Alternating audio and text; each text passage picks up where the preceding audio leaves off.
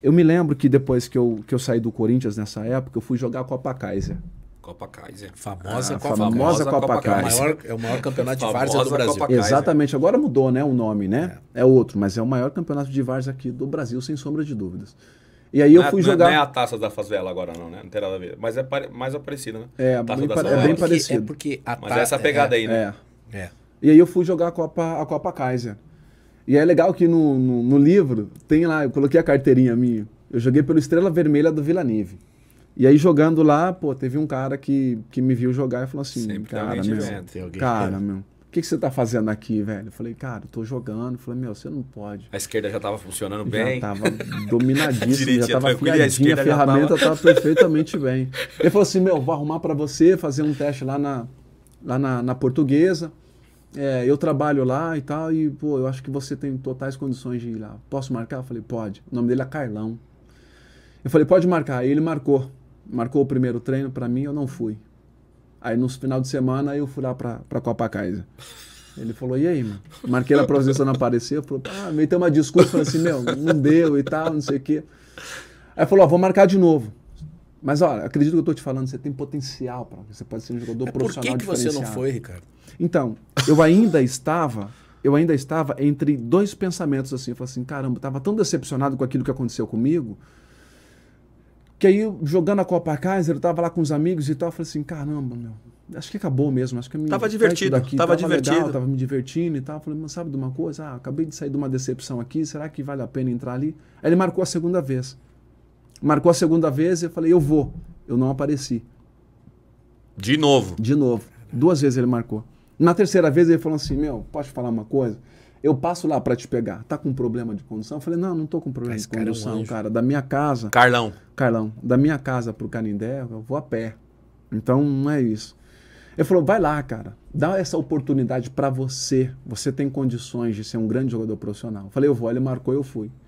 E aí fui. Meu primeiro treino, Bagunçou. baguncei, fui bem, treinador falou assim, pode sair, quero você aqui. Mas ó, vou te falar já, tá? A gente tá com problemas financeiros, aqui não tem dinheiro, nem adianta empresário vir aqui pedir pedir dinheiro porque Sim, o clube sim. não tem. Falei, não, pode ficar tranquilo que não foi o empresário quem me trouxe para cá. Não, quem te trouxe? Ah, foi o Carlão, que trabalha aqui, nem sabia qual era a função Sim. do Carlão lá. Não trabalhava em comissão técnica nem nada, mas ele trabalhava no clube de fato. E aí, é, ele falou, ah, legal, bacana. A partir daí, Denilson, foram seis meses só. Seis meses. Na Seis- portuguesa. Na portuguesa, no amador.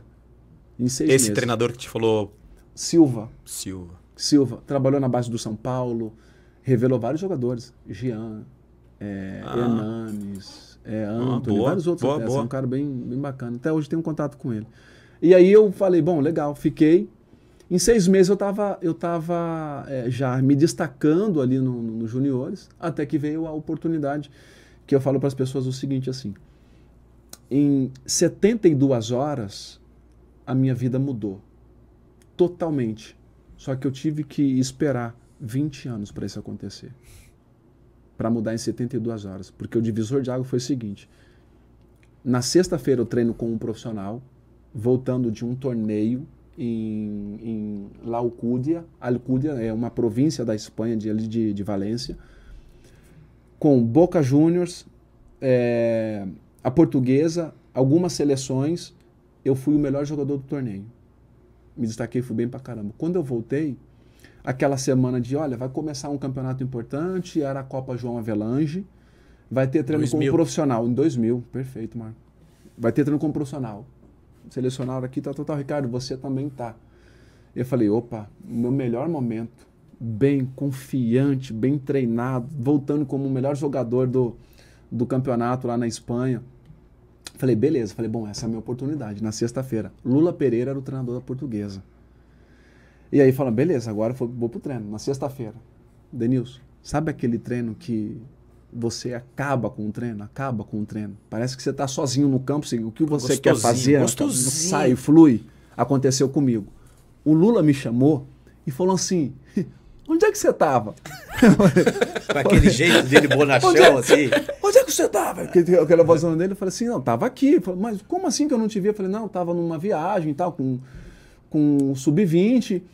E jogamos e tal. Falou, não, mas, cara, eu quero você pro jogo de domingo. Aí, aí vem um misto Isso de. na sexta. Na sexta. Aí vem um misto de, pô, de felicidade com apreensão. Com. E, como assim? Mas. Eu falei assim, cara, mas eu não sou profissional. Ele falou, quê? Falei, não, não sou profissional. Ele falou assim, sai do treino agora. Chamou o diretor, chamou o supervisor e falou assim, ó, tira ele, faz o contrato profissional dele, eu quero ele pro jogo de domingo.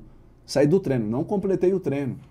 Aí falou assim, ó, volta amanhã para treinar no sábado, cheguei para treinar no sábado, meu material tudo bonitinho lá, no meu, no meu armário, tudo bacana. Pô, falei, caramba. Da hora, da hora. na vida. Da hora. Caraca. Fui treinar, eu treino, treino de manhã no sábado, pro jogo no domingo e tal. Treinei, aquele, aquele velho rachão, tal, me diverti pra caramba. Aí chegou a notícia ainda no rachão, falou assim, olha, deu tudo certo, você tá no bid, se prepara que amanhã é um grande dia. Caraca, velho. Aí terminou o treino e agora como é que eu faço? Pego o telefone, liga e falo assim, mãe, deu certo, eu vou jogar no domingo, estreiei, vou estrear no domingo e tal. Liga pra Contra quem que era? Lembra? Contra o Esporte de Recife.